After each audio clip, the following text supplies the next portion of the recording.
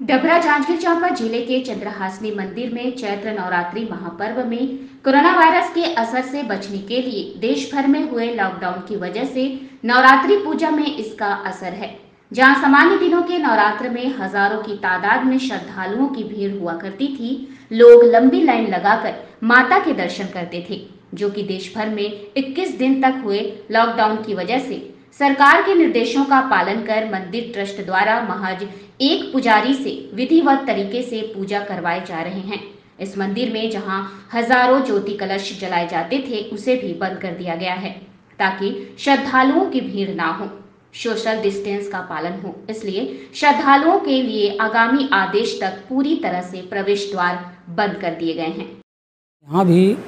जो निर्देश दिया गया है आदेश हुआ है सरकार के द्वारा, केंद्र सरकार और अपने राज्य सरकार के द्वारा, कि दर्शनार्थियों को न आने दिया जाए भीड़ के चलते। ये कोरोना महामारी को रोकथाम के लिए जो भीड़ है उसको रोकने के लिए हम लोग भी यहाँ उनका आदेश का पालन कर रहे हैं और यहाँ कोई दर्शनार्थियों को दर्शन वर्जित किया गया है, इसीलिए जोत भी नहीं जलाने दे रहे हैं।